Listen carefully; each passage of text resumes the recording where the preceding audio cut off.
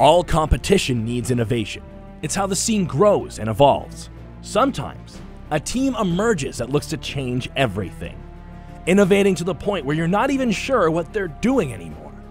One More Wave is still playing Paragon, but that's where the similarities between them and the competition come to an end. This title team formed just before the qualifiers and have already made a splash on the scene, toppling Hydra in the group stages, an outcome that some might not have predicted. But One More Wave refuses to be predictable, forming strategies that catch opponents off guard and send them reeling into their demise. Featuring one of the most mechanically skilled mid laners in Paragon, Azibear and his team look to crash straight through the opposition. While it can be dangerous to put all of your crabs in one basket, One More Wave put emphasis on empowering the mid laner instead of the carry, realizing the carry's gonna farm anyway, so why not give the mage a little love?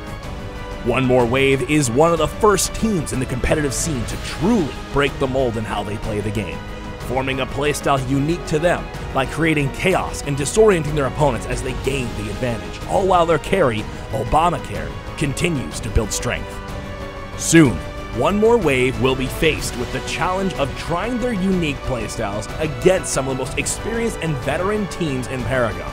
Teams like Reborn, Oxygen, and Finesse stand between them and victory.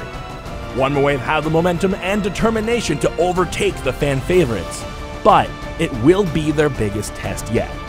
And if they win, it will be the largest wave ever seen in Agora.